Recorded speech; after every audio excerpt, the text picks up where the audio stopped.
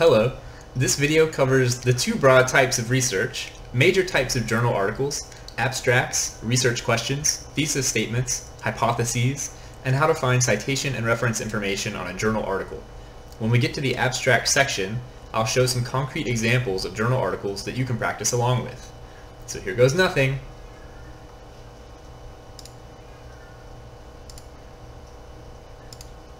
There are two broad types of research questions that you will come across. Quantitative and qualitative. Quantitative research involves the collection and analysis of numerical data. Numbers. What is the root of quantitative? Quant. In the Latin, quant means amount. So you can think about quantitative research as that which uses and reports numbers, quantities, quantifications. Quantitative research uses statistics to determine causal relationships. Usually, quantitative studies have many variables, which are represented numerically, and researchers try to show relationships between the variables, especially which independent variables cause a change in the dependent variables. Research methods that are usually quantitative include surveys, Think about surveys that you've taken that ask you to circle 1 through 5. Your response is coded numerically. Experiments and various studies using data mining and large amounts of quantitative data that they run statistics on. Quantitative research, like any method, has its pros and cons. Pros include large sample sizes. It's way easier to mail out a survey to 100 people than to interview 100 people, for example. And good generalizability. Cons include providing relatively poor insight into people's lived experiences. Our lives are not reduced to numbers. On the other hand, qualitative research involves the collection and analysis of verbal, textual, and other descriptive data. What is the root of qualitative? Qual. What does qual mean? In the Latin, it means characteristic. So we're not measuring the amounts of things, but we're interested in describing the characteristics or qualities of things. What is the essence of the thing we're looking at? Common qualitative methods include observations, interviews, and ethnographies. These allow people to talk and produce in-depth and descriptive information. So, for example, imagine that I want to ask you about online learning. My research question is, what did GGC students think about face-to-face -face versus online learning? If I ask you that question in an interview, I'm going to get very different qualitative data compared to if I ask you that question on a survey, like on a scale of 1 to 5, with 1 being stepping in dog poo, and 5 being I found $50 on the sidewalk, how much do you enjoy online learning? Your response would be a number in the latter case. Now, of course, I could give you a survey with both open-ended qualitative questions and close-ended quantitative questions, and get both qualitative and quantitative data. This would be a mixed methods study. You'll likely come across mixed methods studies in the research literature as well, but qualitative studies allow great insight into people's lived experiences while being weaker when it comes to sample sizes and generalizability. When you dig into the academic literature and when you read for class, you will find many types of journal articles. These differ in terms of what kinds of research methods they use, whether they tend to be quantitative, qualitative, or mixed methods, and how they are written, the style. The main ones that I'll briefly review are empirical studies, or original research, uh, case studies, literature reviews, theoretical or applied theoretical articles, and methodological articles. Empirical studies, or original research, are probably what you'll see the most, and to me are the most interesting, but all types are interesting in their own way.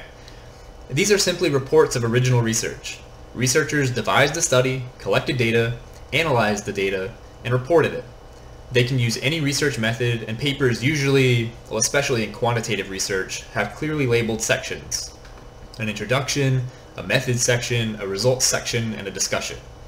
If I actually conduct and publish my study on what GGC students think about face-to-face -face versus virtual learning, that would be an empirical study. I devised a study, I collected data, I analyzed it, and I published it. Case studies will almost always be qualitative. These describe and analyze in depth one or two cases or examples of some phenomenon. authors select these cases to illustrate a particular problem or solution that the paper addresses. They may use the case to suggest that additional research needs to be done on this problem, because look at how interesting this case is, to demonstrate an application, because look at how well this intervention worked in this case, or to argue that researchers in the field need to think more deeply about the issues associated with this case. For example, if I'm interested in why heroin users overdose, I could select a few cases, or examples, of overdose victims to analyze in my paper. I could compare their histories of drug use, their living conditions, their underlying mental health issues, whatever it's useful to compare in this study, to get the reader thinking about the problem of overdosing. I might arrive at a conclusion and be able to argue from my cases that clean needle programs are useful to prevent overdoses.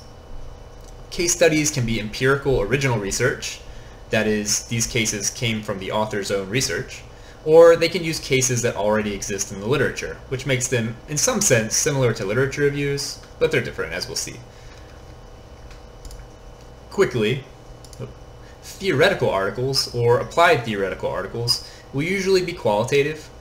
Their goal is to advance a theoretical perspective, and often will apply the theoretical perspective using empirical data to demonstrate how it works. Uh, similarly, Methodological articles build upon methods for collecting or analyzing data and include empirical research to demonstrate how the method works. Their goal, and a common goal of theoretical articles, is to make a convincing argument for the utility of the method so that other researchers will build upon it or use it. Finally, literature reviews, which you will come across often as well, literature reviews evaluate the body of research published on a topic. In many ways, they are summaries of what the other research of what other researchers have found, which is really useful because there's so much information and research out there on most given topics. So, is wine good or bad for you? Well, I bet somebody out there somewhere has done a literature review synthesizing 100 studies on wine and plotting their findings, good or bad. Wine is actually good and bad. It depends on many, many different factors. More research is needed. A more relevant example for today might be a literature review on the effectiveness of certain drugs for treating coronavirus. You can't take any one study alone. You have to look at many studies together. So literature reviews are extremely useful for determining what the whole body of research says as opposed to what just one study found.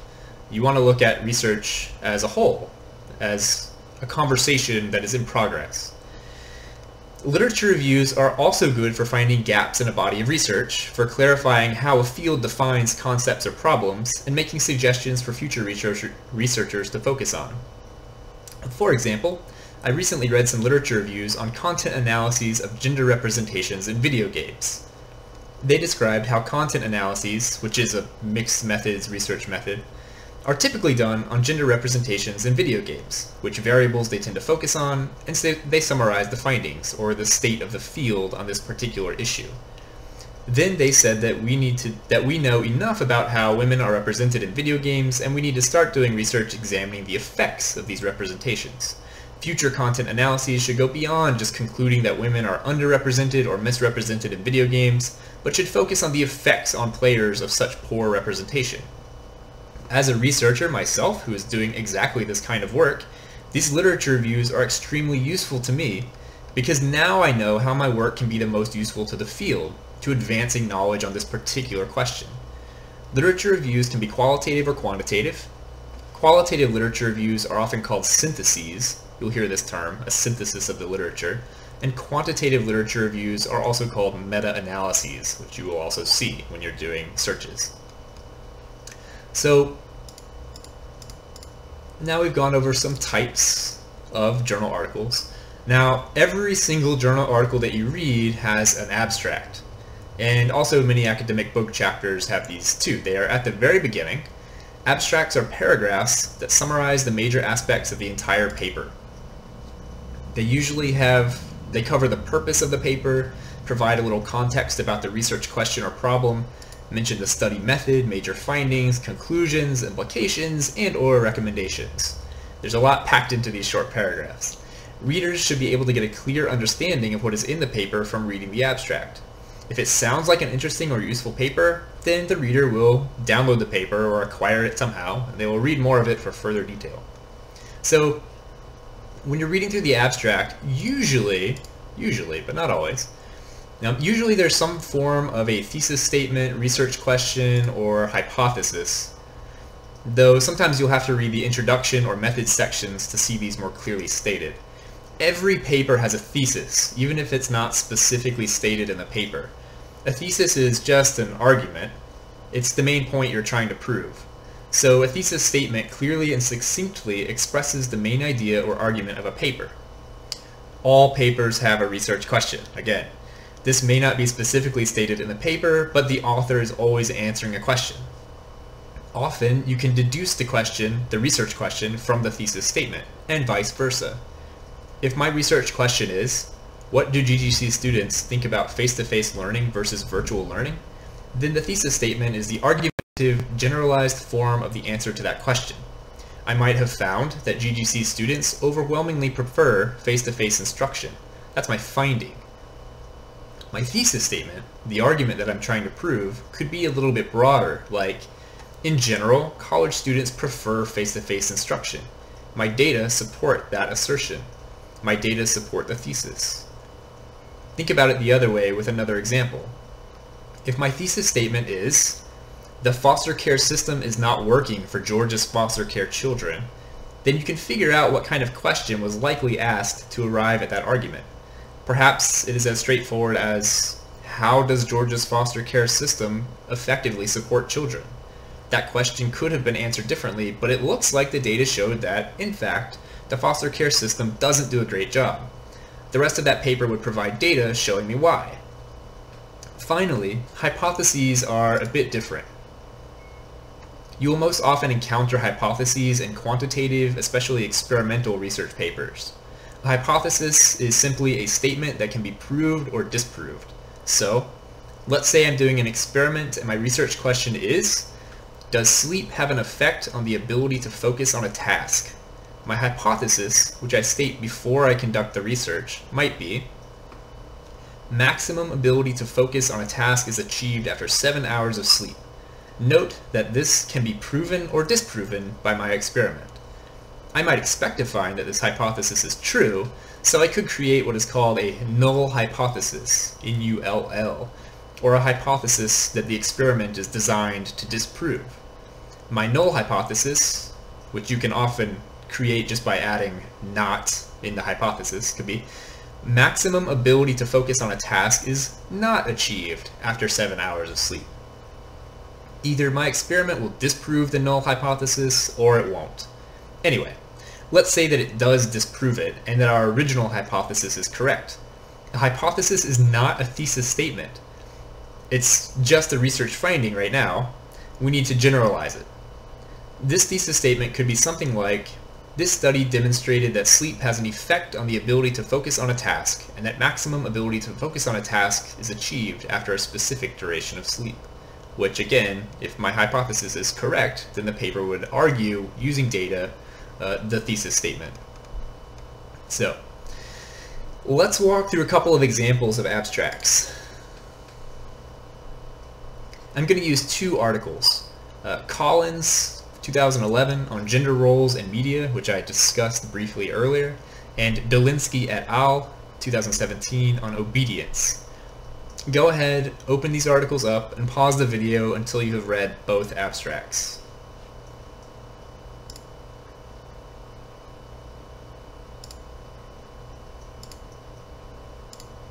Okay. Um, Collins is first here. Let's go back up. Collins is first. Here's the abstract. Let me make sure that I'm still sharing everything properly. Looks like it, right? Here's the abstract. So here's your first challenge whenever you're reading an abstract, when you're practicing doing this. Close the article. You read it. Close the article, and from your memory, explain what it's about. You write it down, tell somebody nearby, call your grandma, leave a long voicemail to your friend who you had a falling out with years ago. They'll either never speak to you again or the research will reunite you. Wonderful. So pause, do that, and continue.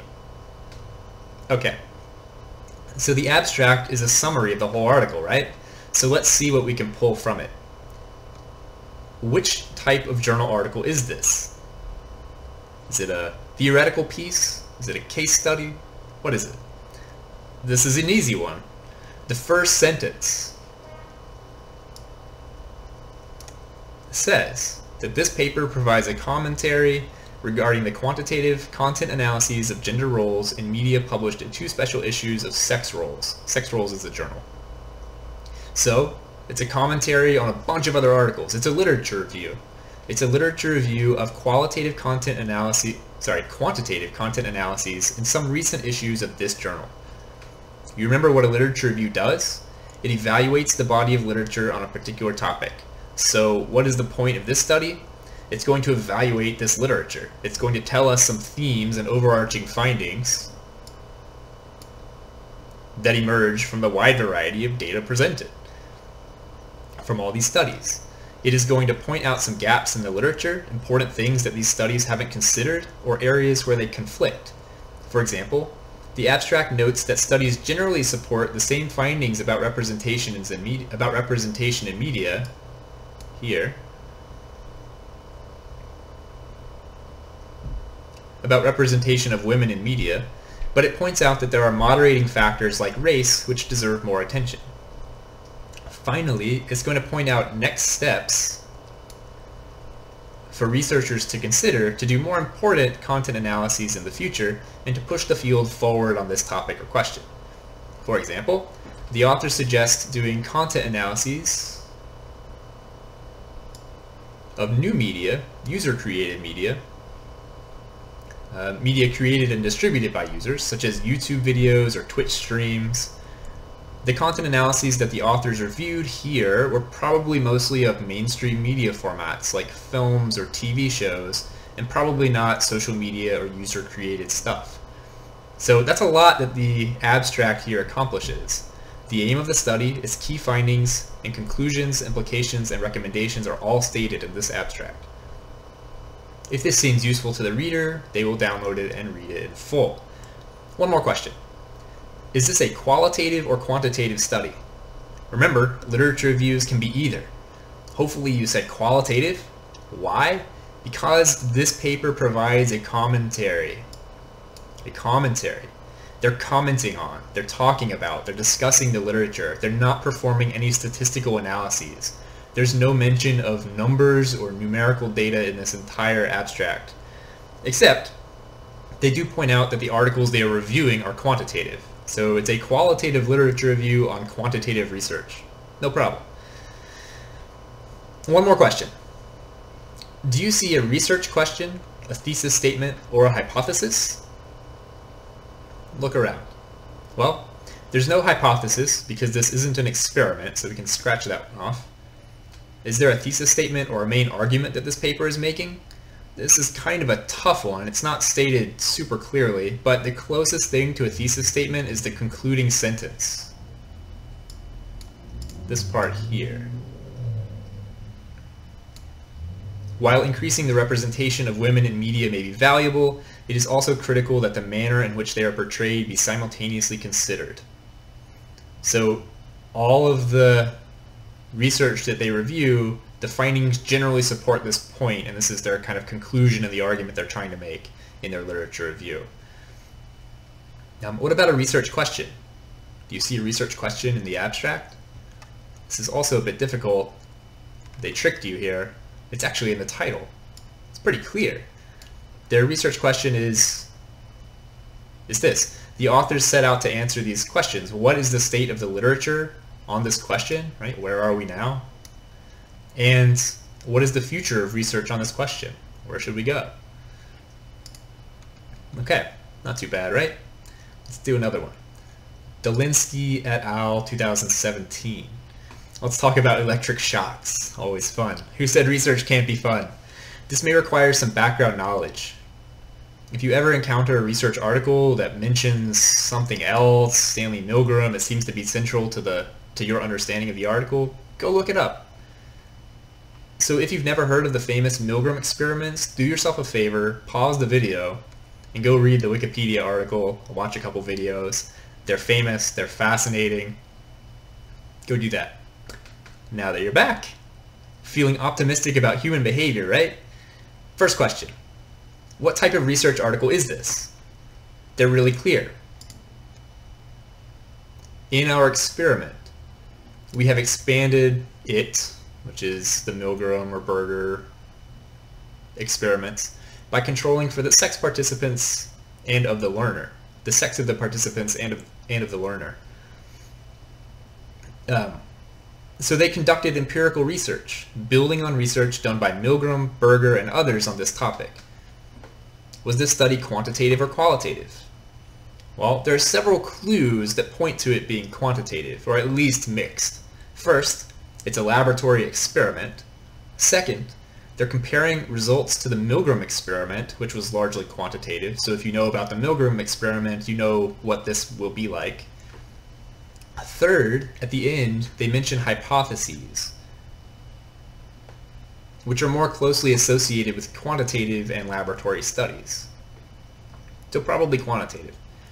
You can scroll through to the methods section to learn more about how they collected data, um, but what is the point of this study? Well, they're clearly doing a partial replication of the original Milgram experiments and modifying the variables, participant sex specifically, to find out the extent to which people will follow morally questionable instructions from an authority source. They're replicating a study. They're replicating a study means you're doing a study over again, maybe by changing a few variables, but you want to test the findings of some other study or studies. That's what they're doing here. Can you identify a research question, thesis statement, or hypothesis in the abstract? They say at the end that they can't accept or reject the hypotheses, so there are hypotheses, but they're not stated in the abstract. They're probably in the methods section. One sentence approximating a thesis statement is that, where is it? Is that a certain picture of the level of obedience uh, can be drawn using the procedure proposed by Burger. So what they're arguing here, uh, essentially, is that they can measure obedience. The researchers are arguing, they're setting out to prove that they can, in fact, measure obedience. They describe the findings which support the thesis statement. The main finding is that the results achieved show a level of obedience toward instructions similarly high to that of the original Milgram studies.